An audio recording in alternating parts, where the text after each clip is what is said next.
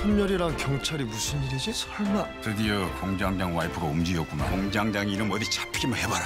나 불안해 죽겠으니까 당장 외국으로 보내주든지 어떻게든 해줘요. 해주야 이게 널 위하는 길이야. 널 나 같은 괴물로 살게 할 순 없어. 나도 네뒤 이어 자수할게. 기다리라고!